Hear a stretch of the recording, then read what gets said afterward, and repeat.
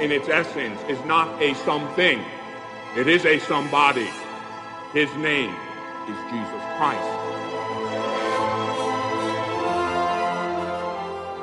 When truth is called alive, the lights go out, darkness falls, and indeed, if your light is darkness, how very deep will the darkness be? All the words in this book can be compressed into one word, the eternal word, Jesus the Christ.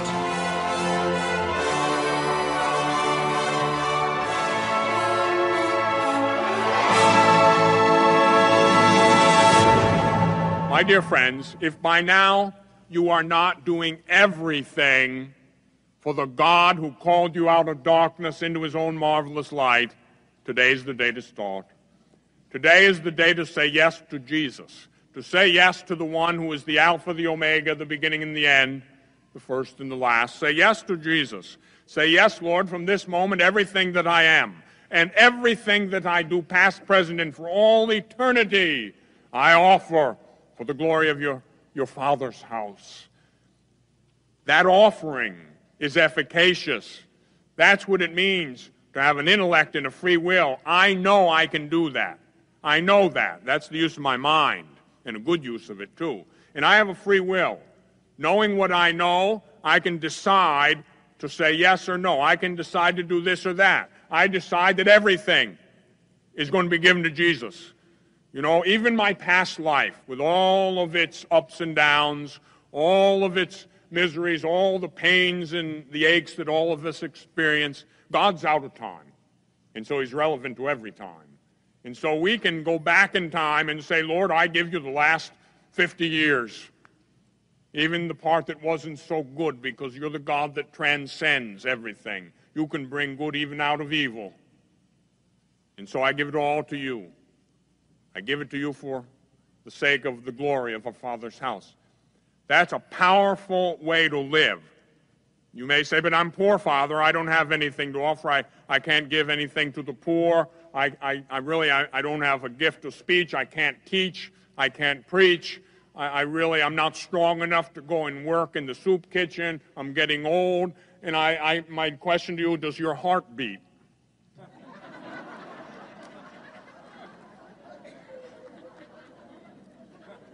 Well, then offer him every beat of your heart. Listen, if it's still beating, you can still be offering. So you offer him every beat of your heart, every breath you take, every word you speak, every step you walk. All that I am and all that I do, past, present, and for all eternity, I can give to the Lord Jesus Christ, who brings it to the Father in the power of the Holy Spirit, and that's power to set captives free. And you are called to it because you are called to live the life of Jesus Christ. That's what it means to be a Christian. And so we exercise our Christianity in a spirit of service. I remember my superior once told me very early in my priesthood, it might have been the, the day before I was ordained, the night before we stayed up all night in prayer before the Blessed Sacrament, and he told me, always go as a servant. Always approach everything you do as a servant. Now, you know, servants do hard things and servants do dirty things. Servants are used to doing hard things and dirty things, and if a servant approaches everything he does as a servant, he's not very often disappointed, and he's not very often insulted, and he's not very often put out, and his peace is not very often disturbed. And so approach everything as a servant. And if they don't appreciate you, and if they don't give you your due, and if even you're used as a so called doormat that people walk over, let me tell you something God sees everything. And God will not leave anything without its reward. You cannot outdo the good God in generosity. Whatever you do, do it for the Lord. Even if it's the tiniest thing, if it's done with love, God accepts it with infinite love. And so do little things with great love. and you will save souls. You will be an instrument of grace. You will be doing the work of the Redeemer. You will be a co Redeemer in Jesus, the one only Redeemer. We know that in this discussion of the moral law and law in general, we come to ecclesiastical law, church law. Now, the church has the power to make law, under the power to bind and loose, which Jesus gave to Peter and to the, the authority in the church, the hierarchy of the church. That power to bind and loose includes three major areas. Number one, of course, sins, power to bind and loose sin, confession. Secondly, the power to define doctrine. And third, the power to require the following of rules, church discipline, precepts. You've heard of the precepts of the church. Well, number 2042 talks about the precepts of the church. You know what they are. You shall attend Mass on Sundays and holy days of obligation. You shall confess your sins at least once a year. You shall humbly receive your Creator in Holy Communion, at least during the Easter season. You shall keep holy the days of obligation. You shall observe the prescribed days of fasting and abstinence. And we also have the duty, as best we can, to provide for the material needs of the church in accordance with our abilities. Now, those are the, basically the precepts of the church. They're binding in conscience. These aren't, these aren't uh, optional. Now, you might say, oh, the church, the church asks too much. You know, why do I have to go to Mass on Sundays and holy days of obligation? Well, listen, I, I, I believe that you probably would feed your body at least one good meal a week.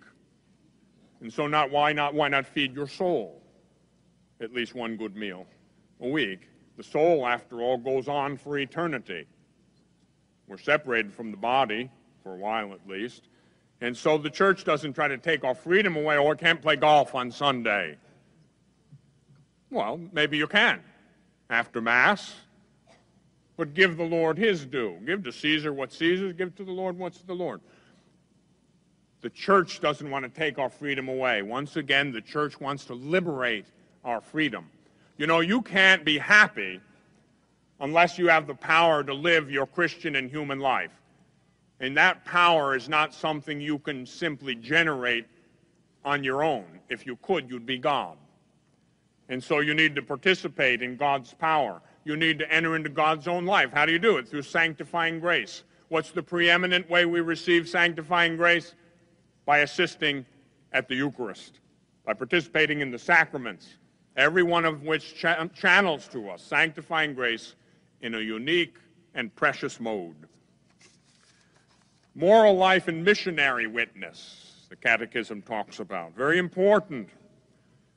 The fidelity of the baptized is a primordial condition for the proclamation of the gospel and for the church's mission in the world. Once again, this number 2044 in the Catechism, in a certain way, could well, it, I could say that this, this is what I've been trying to do for the last three years at least of my life. To try to get us, we, the baptized, to get us to live our baptism to its fullness. The answer to all the world's problems lies in this. The answer to the ecumenical crisis that we have to finally having one flock under one shepherd is in this the fidelity of the baptized when you and I start living our Catholic Christian faith with intensity, we will attract others to the faith like moths to a flame. They will come when they see Jesus in you. And don't sit back and say, well, let them see Jesus in Father John. No. Because I might say, well, let them see Jesus in, in Joe or Mary. I'm tired. It's hard to live the life of Christ. Let me come down off that cross for a while, Lord. Let him look at somebody else. No. Every one of us has a responsibility to live our baptism, to live the life of Christ.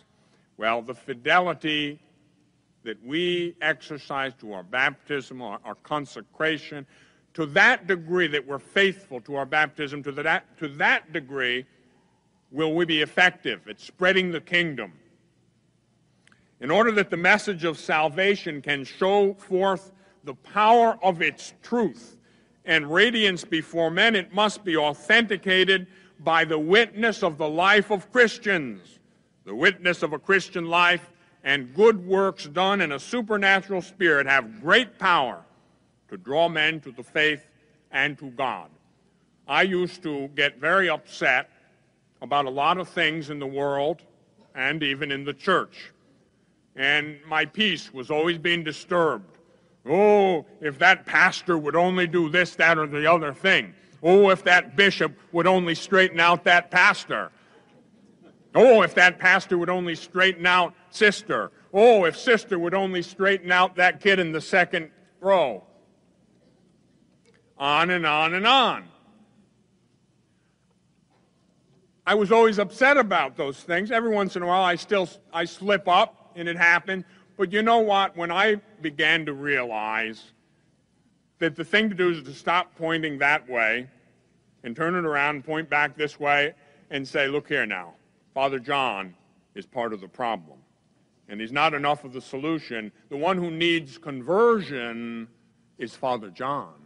And when Father John is sufficiently converted and perfected and purified and made more like his master, then the sheep might recognize the master in Father John and listen to his voice. And then when we begin to think that way, we begin to have peace we begin to think, all right, Lord, help me. You know, I can't convert you. I can't convert anyone. I have a terrible time trying to convert me. That's a full time job. Not easy. Every day, every morning, I have to pray specifically for a lot of defects that I have. Well, God's not finished with me yet. He's working on me. But you know, when I, be, when I quit complaining so much about everything wrong in the world and in the church and began to turn my gaze inward, I began to not only find myself, but I began to find God a little more easily. You and I both know there are many imperfect things in the church and in the world. We fail as individuals to live up to this noble calling we have. Now, there's nothing wrong with the indefectibly holy bride of Christ per se, but members of the church, plenty wrong with us. And so, what can we do? You've got to do the same thing that St. Francis of Assisi did, and that every saint did. Did St. Francis set out to convert the world, to reform the church? No. St. Francis set out to reform himself. He set out to do penance for his sins and in reforming himself, he ultimately reformed the whole church, and through the church, the whole world. And you are called to do the same, and so am I. I'm giving you a principle, my friends, for peace. The peace that really means something in here. There is no peace out there. And if your peace in here is predicated upon the peace out there, you will never achieve peace in here because you'll be up and down with the whims and fancies of the world. One day there will be a war, and then there will be a stock market crash. The next day there will be a plague, on and on and on. No. Look within. There you will find God. There you will find yourself. Know thyself. Socrates used to say, and so too Jesus Christ would tell us look at your own imperfections. You've got to take the speck. You've got to take the plank out of your own eye before you can take the speck out of your brother's eye. We have all been guilty all too frequently of attempting to take the speck out of our brother's eye when we have a plank in our own. You and I are pretty lucky you and I probably know pretty much what the church teaches. We have a gift. We have the sensus fidelium. we have a sense of the faith. We have a sense of the truth. God's given us eyes to see what's true. He's given us ears so that we can hear the beautiful, resonant, symphonic notes of truth. But very often, that's a good thing, but it can blind us. And in a certain kind of intellectual and spiritual pride, we can begin to tear down people who aren't so fortunate. You know, everything is grace, the faith is a gift. You know, sometimes we say, why can't they see it? You ever see a blind man crossing the street? And perhaps he, he goes a little the wrong way. Maybe he doesn't have a, a, a seeing eye dog or someone to help him, and maybe he starts wandering into the traffic, and, and everybody rushes. And if you're, you're the man who has to guide him, you might get upset and frustrated. You can't get mad at a man who's blind. My brothers and sisters, spiritual vision is a gift. Because your brother or your sister can't see it, don't get mad at them. You have the gift. Pray that they do too. And so let's be very careful before we become rashly judgmental. But by the same token, do not fail to make rational judgments in the objective order. Call good and evil, truth and lies by their proper name. Teacher, what must I do? Those words. Teacher, what must I do? And the response of the only one who's the teacher, Jesus, the commandments. And so we come into the section on the Ten Commandments. You have to acknowledge God. God alone is good. And then Jesus began to cite those commandments which relate to love of neighbor. Following Jesus Christ involves keeping the commandments. The law has not been abolished, but rather man is invited to rediscover it in the person of his master, who is its perfect fulfillment. Number 2053. Now that's enormously important the law, the Ten Commandments, the Decalogue, has not been abolished. It's been fulfilled in the person of the Lord Jesus Christ. In sacred scripture, the Decalogue is very much put forth by God. The word Decalogue literally means ten words. God revealed these ten words to his people on the holy mountain through Moses. Now we know what the Ten Commandments are. Although, you know, before I started doing this about three, four years ago, when I would go around preaching, I, I was in a research mode. You know, I was working on my doctoral thesis, and, you know, you get in a certain research type mode.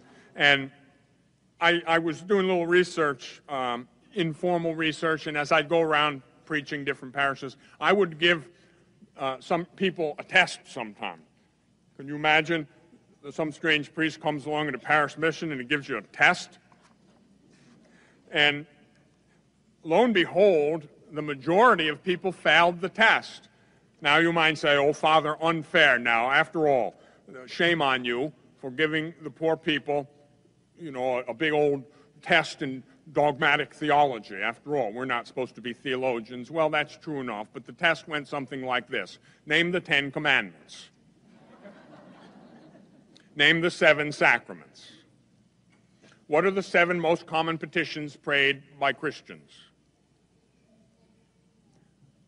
What are the 12 articles of the faith? What is an angel? Are angels real? Simple things. Now, of course, I know everyone in this room could pass that test. After all, we're big time. We're studying the catechism. So when we come to the section on the Ten Commandments, obviously I know long ago we memorized the Ten Commandments. And unlike what one young man once said to me, well, Father, do I have to know them in order? yes. There are ten of them, and they do go in an order. The fourth one is indeed that, the fourth, and so forth. Infidelity to Scripture, And in conformity with the example of Jesus, the tradition of the church has acknowledged the primordial importance and significance of the Decalogue or the Ten Commandments. These commandments state what is required in the love of God and love of neighbor. Now, the first three commandments we know concern love of God, and the next seven concern love of neighbor. Now, they all go together. They're, they're related, they're compenetrated, you might say. They're inextricably united.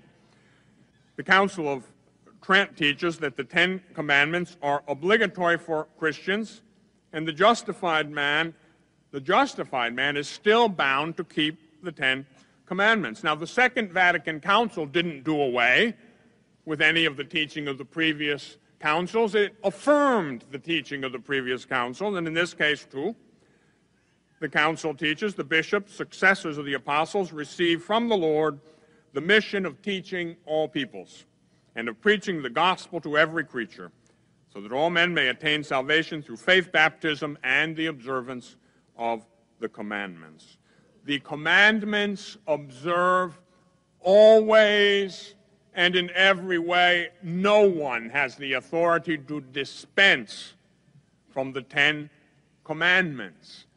It's immutable. It comes, it's rooted in the very law of God, which, as we said, is unchangeable.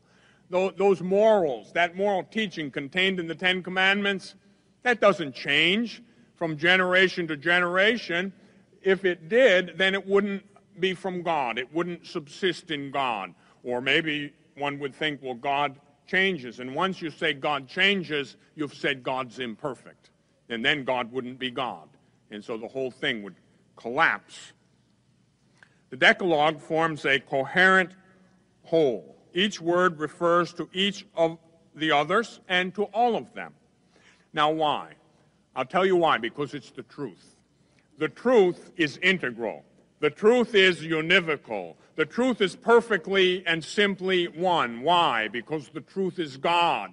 And that's why the Ten Commandments are perfectly one, perfectly integral, perfectly univocal, because it's part of the simple, beautiful truth, which is not to something, but to somebody, God Himself.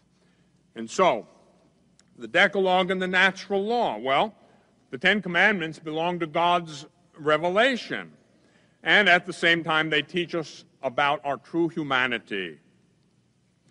From the beginning, St. Irenaeus. Irenaeus teaches us, from the beginning, God had implanted in the heart of man the precepts of the natural law. Then he was content to remind him of them. That's the Decalogue. So God places the natural law within our heart. Well, God, being perfectly wise, knows we need to be reminded, and that's the Ten Commandments a reminder, divine revelation, a reminder of the basics of the natural law. Now, the commandments of the Decalogue are accessible to reason alone, but they have been revealed by God so that we can know them with certainty, without any admixture of error. Now, the obligation of the Decalogue, as I said, is absolutely imperative. Every human being.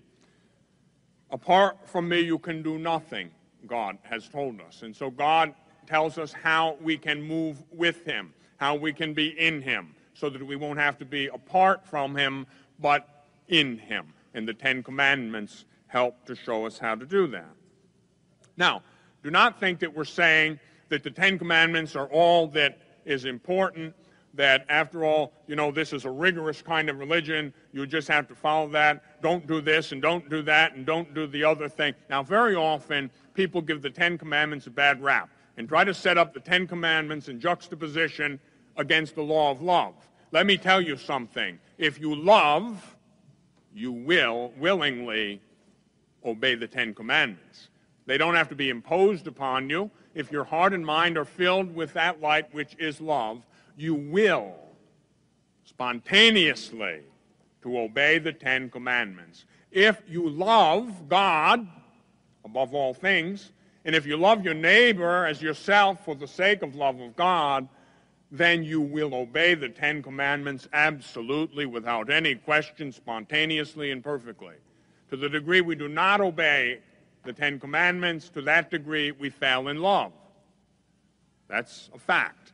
And so there's no juxtaposition between law, commandments, and love. Love and law are one. Show me a person without law, and I'll show you a person without love. And don't give me that baloney that, well, love and do what you will. That's what St. Augustine said, and he mean it. And he meant it, but he knew what he meant. Very often we don't know what he meant. Love and do what you will. What it means is, yes, by all means love. And if you are in fact loving, you will always do the true and the good.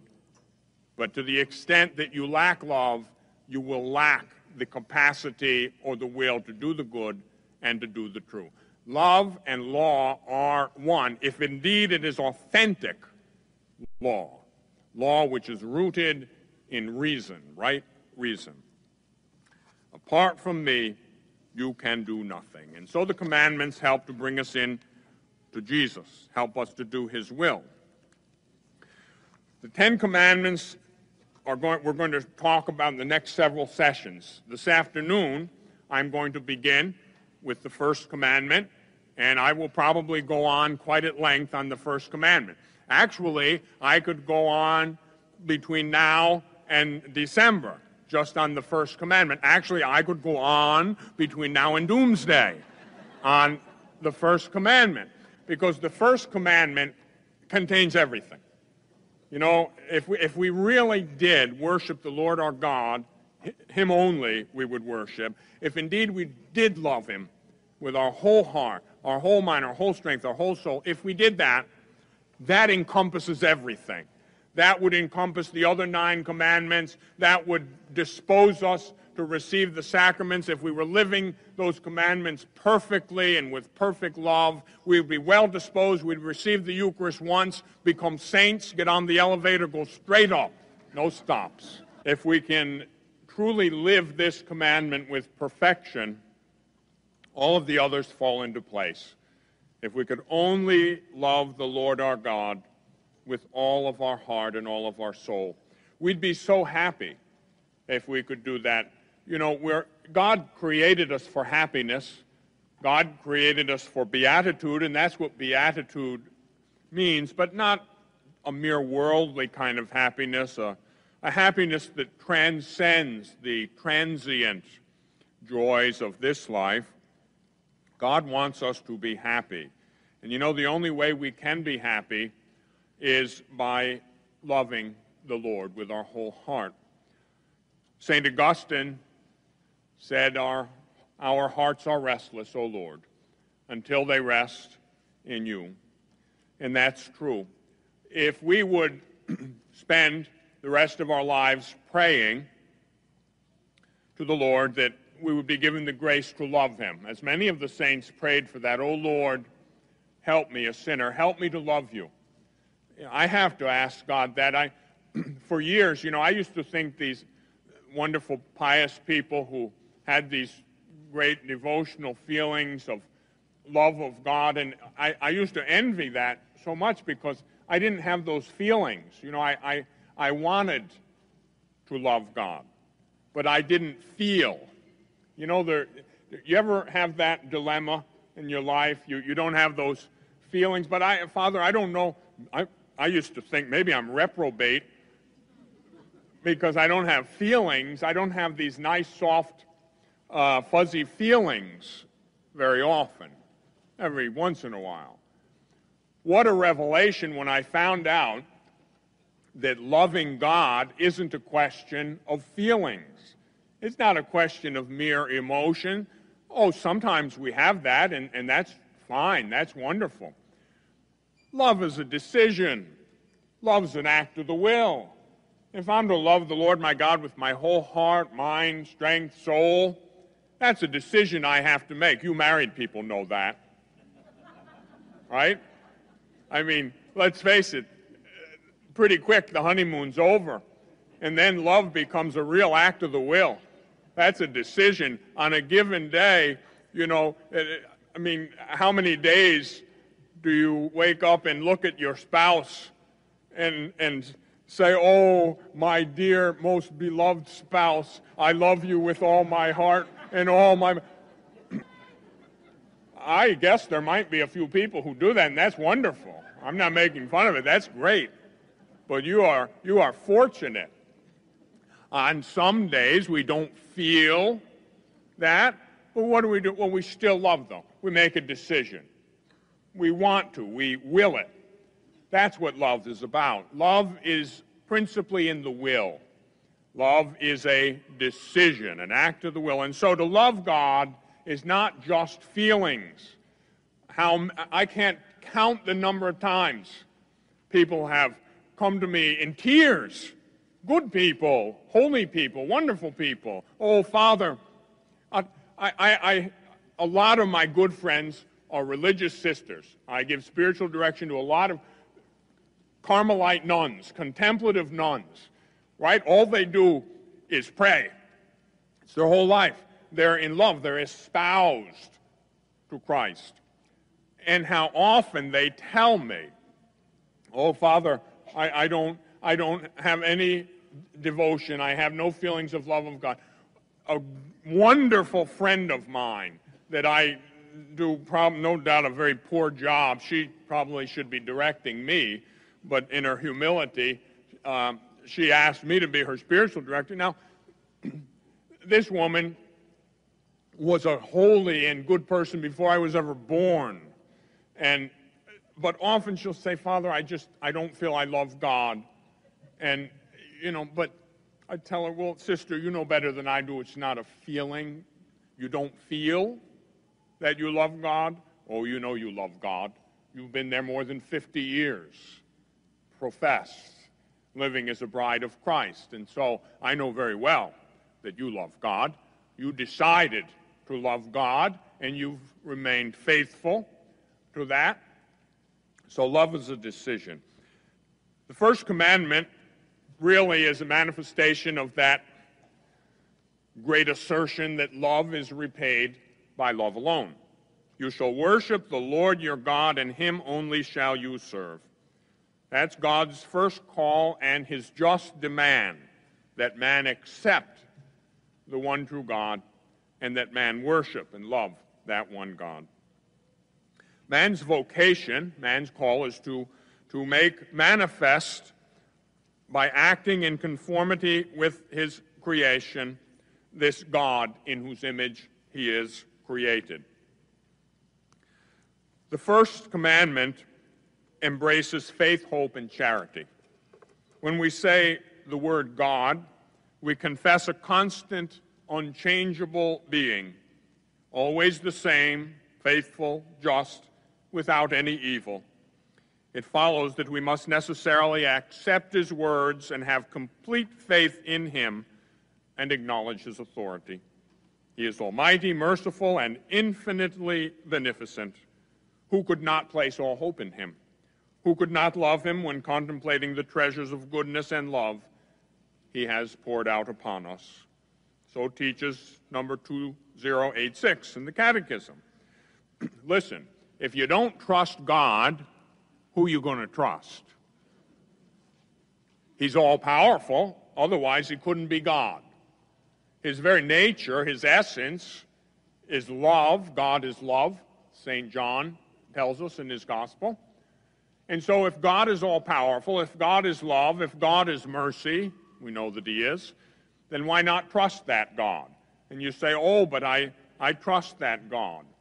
well, then why are you always worried? And why am I always worried? About this, that, and the other thing. Oh, I worry about so many things. Worry about my health.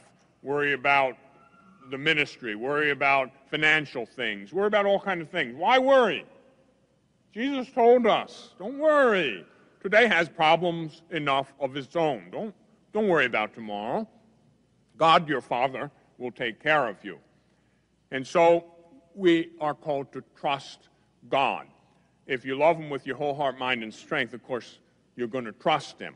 Now, you and I know that's easier said than done. But we have to, we have to make a try at it anyhow faith, hope, and charity.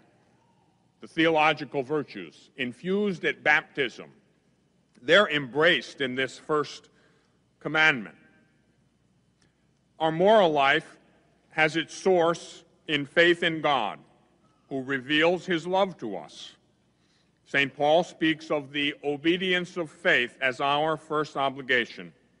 He shows that ignorance of God is the principle and explanation of all moral deviation. Our duty towards God is to believe in Him and to bear witness to Him. Now, in an earlier class, we spoke about the theological virtue of faith. We talked about the faith. We talked about the subjective and the objective dimensions of faith. We gave a definition of faith. Now, you lucked out, by the way, a little side note here. I, we're not going to give you a final examination. Uh, people have been asking about that. Oh, Father, you're going to give us an exam. Uh, well, no.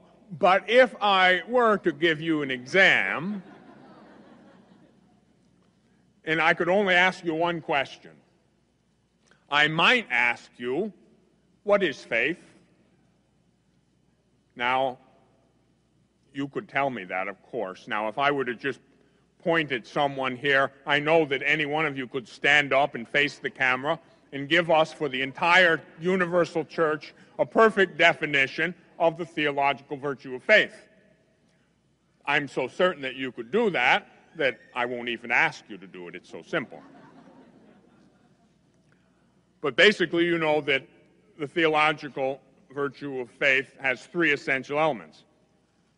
Faith is the theological virtue by which we believe in God, believe all that God has said and revealed to us, and believe all that Holy Church proposes for our belief because He is truth itself. We believe we have faith not because it's plausible, but because God has revealed it. Why do I believe everything the Catholic Church teaches? Because it's all plausible? Well, it is perfectly in accord with reason, but my beady little brain can't figure that out. I believe it because of God who's revealed it, not because it's plausible. Do you think I can explain the Trinity? Nobody can.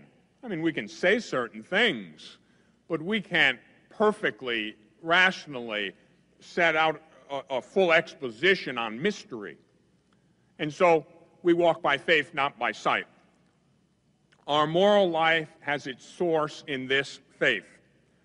The first commandment requires us to nourish and protect our faith with prudence and vigilance. I'm going to say that again. The first commandment requires us to nourish, to nourish and protect our faith Hear that? Nourish it and protect it. Both those things. Nourish it, protect it. Not just for yourself, for your family. I had a letter from a man someplace in New York this week. As people often do, he gave me a litany of all the bad things that he has to put up with where he is. And he told me that he's going to move his entire family, maybe here, and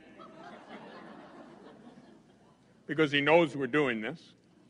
But you see, that man, I'm not saying that's the answer. You, you, you, know, you, can't, you can't run necessarily from problems, but I sympathize with that. Uh, his children, his family are subjected to things that aren't healthy. That man is a good father. He's a good, he's a good spouse. He doesn't want his children and his wife to be subjected to that kind of insidious false teaching, immorality that masquerades as being updated morality. He doesn't like that. It makes him sick. And he doesn't want his family subjected to that. How come? Well, I think he's living his faith. What's it say here? The first commandment, you don't even have to go to the second, third, or seventh. The first requires us to nourish and protect, protect, protect our faith with prudence and vigilance, and to reject everything that is opposed to it. There are various ways of sinning against faith. For the life of me, I can't figure out why people, many people, have a hard time understanding why I just can't stomach bad teaching. I'll tell you why. Because prudence dictates that you have to nourish your faith and protect your faith. You nourish your faith with good, substantive teaching, truth. You do not poison your faith, subvert your faith, erode your faith, or destroy your faith with phony doctrine and immoral morality. That's prudence, and that's protecting your faith. And we have to be prudent, and we must protect our faith.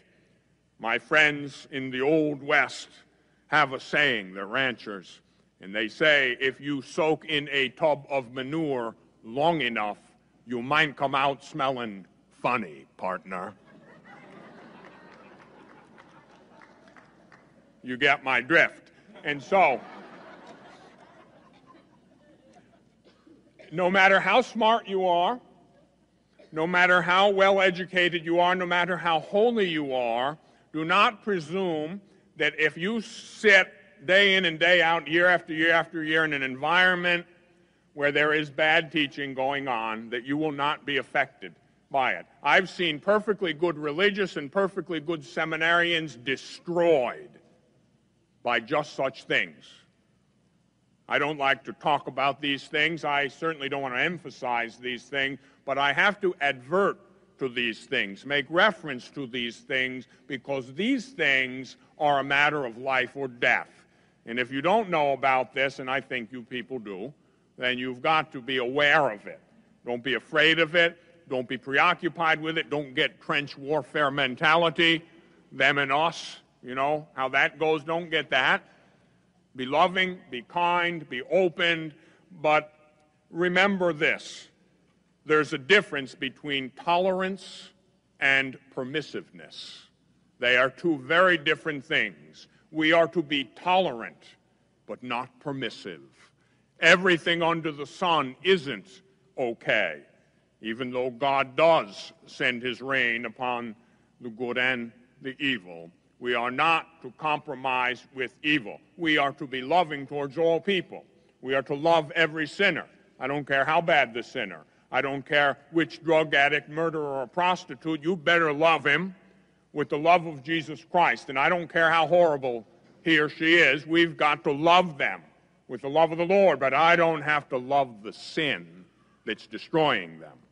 That I don't love, that I hate, and I fight it. Why? Because I love the person and I want them liberated from the oppression of that sin. So, faith is encompassed in the first commandment. Now, there are ways to sin against faith. How can we sin against faith? Well, number one, doubt. First one that the Catechism lists, number 2088, doubt about the faith. Voluntary doubt about the faith disregards or refuses to hold as true what God has revealed and the church proposes for belief. An example, you say. All right. I could give you several dozen, but we'll settle for a couple. How about the person who says, oh, well, the Eucharist is just a sign of Jesus? Jesus isn't really, truly, and substantially present there. I doubt that's true. Then you sin against faith. says so right here. You can sin against faith by voluntary doubt, disregard, or refuse to hold as true what God has revealed and the church proposes for our belief. The substantial, real presence of Jesus in the Eucharist, the virgin birth, the immaculate conception, the assumption, the Trinity, the necessity of confession of serious sins, all kinds of things, all those elements of the doctrine of the faith. To voluntarily doubt those things, to disregard them, to refuse to hold them as true, that is a way of sinning against faith. It's a sin against the first commandment. Involuntary doubt refu- refers to hesitation in believing, difficulty in overcoming objections connected with the faith, or also anxiety arise, aroused by its obscurity. If this involuntary doubt is deliberately cultivated, doubt can lead to spiritual blindness. Listen, a thousand times a thousand difficulties don't make a single doubt. You and I might struggle with certain things in our faith. You, might, you and I might say, ah, Well, I wonder how this can be. Well, let me see if I can work this out. Let me try to understand it as best I can. We have difficulties, but all those difficulties don't make a single doubt. I may wrestle with the rational reasons for my faith, trying to understand better, but I don't doubt any of it. Remember, there's a difference between faith and understanding. The two are compatible, but they're not the same thing. I don't understand it all, and I've studied it a lot more than most of you. I do not purport to understand our faith perfectly. I would have to be God Himself to understand perfectly our faith because the essence of our faith is God, and only God fully fathoms God. And so we walk by faith, not by sight, but we do use our mind to understand what we first give the assent of faith to. Incredulity is the neglect of revealed truth or the willful refusal to assent to it. Heresy Here's a good definition. If you ever wondered what heresy is, heresy is the obstinate post baptismal denial of some truth which must be believed with divine and Catholic faith. Or it is likewise an obstinate doubt concerning the same. Heresy can be an obstinate doubt concerning some truth which must be believed. The real presence of Jesus in the Eucharist, the virgin birth, the immaculate conception, the infallibility of the Holy Father and the bishops united to him. An obstinate doubt about any one of those things, it says it, can constitute heresy. You don't want to fall into that category. You know, I want to tell you something straight out.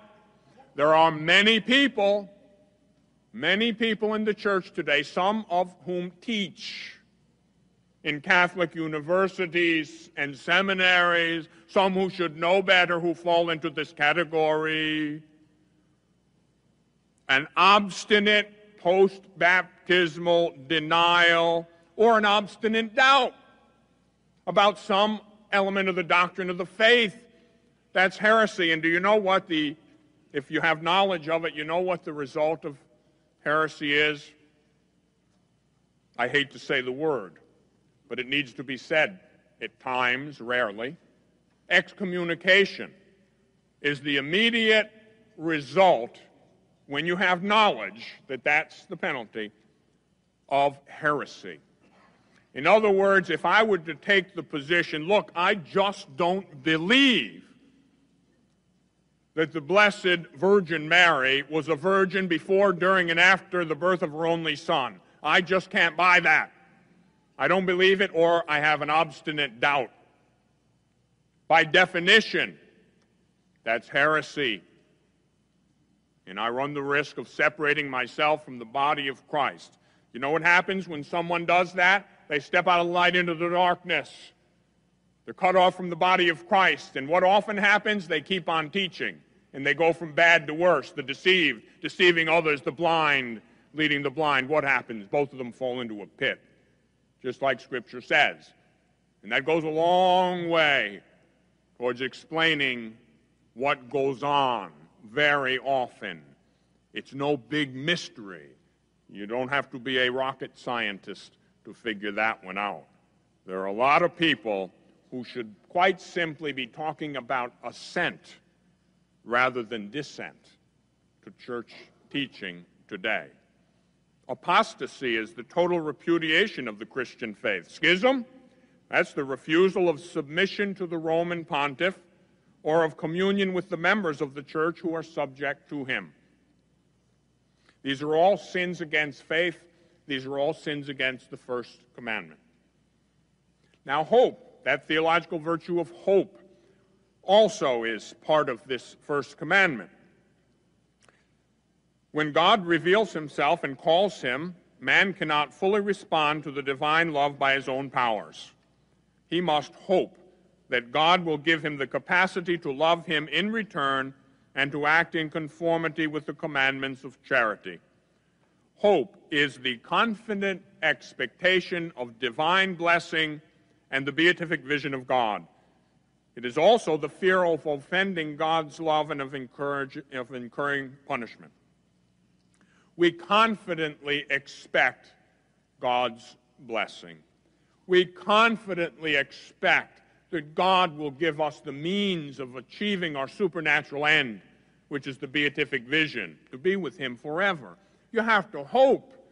After all, He's a good God, He's a loving God, He's a merciful God, and so we should hope in God. That's a theological virtue. You know, hope does spring eternal in the human heart. And when you start to lose hope, everything turns dark. You know, I've been in some pretty bad spots in my life. I've been down and thought I was out. But so long as there's a glimmer of hope, you can take the next step. You have the strength to put up with it for one more moment. So long as there's hope, you've got life, you've got a chance. And God breathes that hope through the power of His Holy Spirit into the human heart. The first commandment is also concerned with sins against hope, namely despair and presumption. Those sins against hope are often called sins against the Holy Spirit. You don't want to sin against hope because you're sinning against the Holy Spirit. The Holy Spirit gives us life. He's the Lord and giver of life. Where the Holy Spirit is, there, there is life. Where the Holy Spirit is, there, there is hope. Don't sin against hope. Don't sin against the Holy Spirit. Don't fall into despair. Don't go into presumption. By despair, man ceases to hope for his personal salvation for God, from God, for help in attaining it or the forgiveness of his sins. Despair is a, in a sense, a veiled form of pride. My sins are bigger than God's mercy, is what we really say when we go into despair. Oh, God couldn't forgive me. I, am I'm, I'm, I'm cursed. I'm as good as in hell. Nothing can save me. I've been living in sin for 50 years. After all, my sins are scarlet. If your sins be as scarlet, they can be made whiter than snow, washed by the blood of the Lamb. And so we trust in God's mercy. Why? Because God's mercy is bigger than our sins. If you took all the sins from the first to the last, beginning to end, condensed them, distilled them, and synthesized them, yet would they be less than a drop in the infinite ocean of God's mercy, which transcends all sin. And so we don't despair. Despair is contrary to God's goodness, to his justice. The Lord is faithful. The Lord is faithful to his promises. And he has promised us that if we repent and if we believe in the gospel, if we live a holy life, he forgives us. Listen, if you've been in sin for 50, 60 years, and I don't care if you're Hitler and Stalin and every murderer and rapist all rolled into one, and you go before the Lord and you say, Lord, have mercy on me, a sinner, truly repenting in your heart. God will forgive you in that instant. And let me tell you something you don't have to chase him down.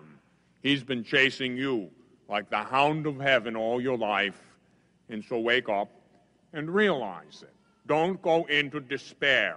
Despair is one of the devil's main tools, especially today. You know how it is when you sin. After you sin, the devil starts working on you, say, well, throw in the towel. Now you've done it. You're finished. It's just the opposite of the way he talks before. Bishop Sheen used to talk about that. You know, before we sin, the evil one is always saying, Oh, come on. Everybody else is doing it. It's not so bad. Try it. You'll like it. We are sophisticated people. What does God care about morality anyway? After all, he's, he's, all, he's way out there and you're here. So go ahead. It's no big deal. And so then you fall and then you do it. Instantly, he's on you and he's, aha, you no good so and so. You see what you did? Oh, you're rotten. Look what you've done. You're so miserable. There's no hope for you. No hope at all. You're finished. You might as well go all the way. Kill yourself. Be a prostitute. Take drugs, whatever. Finish yourself off. There's no hope. Despair. Well, don't fall into despair. But don't go to the other extreme and go to presumption. There are two kinds of presumption. Either a man presumes upon his own capacities, hoping that he can save himself without help from on high. That's the old heresy of Pelagianism, thinking we can save ourselves through our own natural goodness. Or he presumes upon God's almighty power or his mercy, hoping to obtain his forgiveness without conversion and glory without merit. Now, that's another common one today. Oh, a lot of people presume upon God's mercy and goodness. God doesn't care. God will forgive you. Of course, He will. A true statement, no matter what. Yes, God forgives every sin. And so then they use it as a shield for vice, and they go on sinning. Oh, God's merciful, God's loving, so keep on committing adultery and keep on doing this and that and the other thing. God doesn't mind. God forgives you. The devil loves it. He loves it. You've got to know where the lines are. Someone told me, one of my collaborators in my ministry said, You've got to write a book, and the title of it has to be, You've got to know where the lines are. I'm always talking about that. You've got to know where the lines are. Yes, of course, God forgives you. Of course, God holds out his mercy to you no matter what. But can you receive mercy without repentance? No, you cannot. Is God's mercy there for you? Yes, God's mercy is there for everyone. But what's the condition? The condition is saying, Lord, have mercy. Lord, give me your mercy. I want it. You have to desire God's mercy. That's called contrition. Sorrow for your sins. And what does that include? A firm purpose of amendment. And so, like the person who once said to me, Well, Father, I've been living in sin, and, you know, I live with my girlfriend, and, well, you know, that's my sin. I said, Okay, well, you're, I'm, you're a brave man. Wonderful. Make a confession like that. When you moving out? huh? Thought the only thing I had to do is say, hey, I, you know, I'm living in sin, then, you know, my sins are forgiven. No, no. Firm purpose of amendment is an integral part of contrition. No firm purpose of amendment, no contrition, no contrition, no absolution. Why? Because God's not merciful? No, because you're not merciful on yourself. And so accept God's mercy. It's there waiting for you, but don't presume upon God's mercy. Presumption is a sin against hope, and it is a sin against